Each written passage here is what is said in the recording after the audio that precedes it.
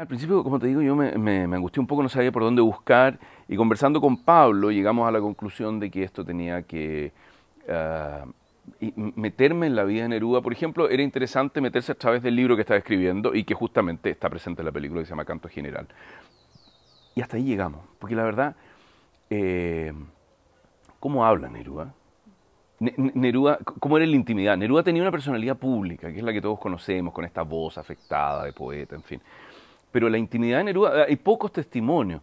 En esa época nos encontramos con la siguiente con, eh, con, el siguiente hallazgo, que hoy en día todos tenemos una cámara de cine. Esto es una cámara de cine, digamos, y todo el mundo anda en una cámara de cine, y, en fin. En esa época habían pocos registros, entonces cada vez que habían registros la gente era todo muy impostada y todo muy así. Todo era muy serio.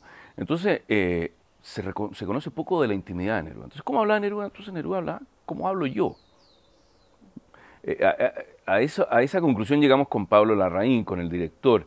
Eh, entonces no, es, como que nos acercamos, hay como unos hints de, Neruda, ¿me entiendes? Como unas pinceladas del Neruda público que todos conocemos. El trabajo específico para esto es de la forma en que, trabajamos siempre con Pablo, que es eh, el misterio mismo, digamos. Eh, es misterioso, ¿por qué? Porque obviamente tú llegas con una escena aprendida, eh, porque tú sabes lo que va a hacer ese día, pero lo que resulte de esa escena, hacia dónde vaya esa escena, es lo fantástico del trabajo en el set con, un, director como Pablo Larraín. Entonces todos los días eran distintos. Eh, insisto, si, bien sabíamos de qué se trataba la escena o las escenas que hacíamos y para dónde iban, finalmente y esa es la gracia, que e, es un, es un viaje, un misterio. Eh, la forma en que tú eh, enfrentas a, los personajes con, con, Pablo. Porque se repite una y otra vez, es una repetición, es un trabajo incansable, y en esa repetición tú vas encontrando un estado absolutamente neutro, donde, donde francamente de repente te ves como frente a un precipicio, y ahí te puedes arrojar, y ahí encuentras Ahí encuentras una humanidad, encuentras una, una voz, un hablar de los personajes. La crítica en Chile es, eh, justamente ha criticado lo, eh, eh, lo, realista, que no hay una persecución como tal, y efectivamente no la hay. Y no la hay porque, porque finalmente después descubrimos que, que este personaje puede que sea una ficción de Neruda, puede que sea una invención de Neruda.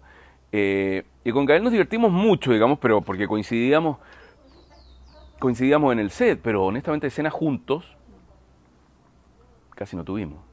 ¿Me entiendes? Casi no tuvimos. Entonces, finalmente esta persecución se construye en el montaje. Es una persecución ideológica, una persecución ficcional.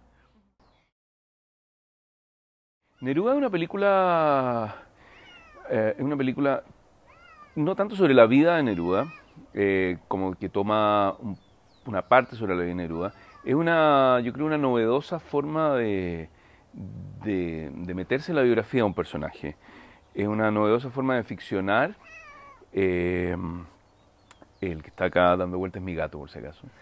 Eh, una novedosa forma de ficcionar respecto a un personaje tan vasto, tan grande como, como es Pablo Neruda, porque eh, cómo tú haces la vida de Pablo Neruda. Primero que nada, eso es aburrido. se han hecho ya demasiados biopics em, y son películas más bien eh, conservadoras, películas que tú sabes cómo comienzan, cómo terminan, bueno, en fin, tienen un, hilo narrativo bastante conservador. Eh, esta, esta película de Neruda es, es una película que no solo habla sobre Neruda, sino que para hablar de Neruda eh, eh, involucra otro, otros elementos. Y finalmente una película que es sobre la ficción, es una película que es sobre un artista que ficciona. Eh, y es la forma de retratar a Neruda, a varios artistas, pero específicamente a Neruda, que era un tipo muy prolífico, un tipo muy imaginativo, un tipo muy, muy juguetón respecto a su imaginación. Entonces me parece que es el homenaje correcto para hablar de un personaje como Neruda. Ahora, sí es sobre Neruda,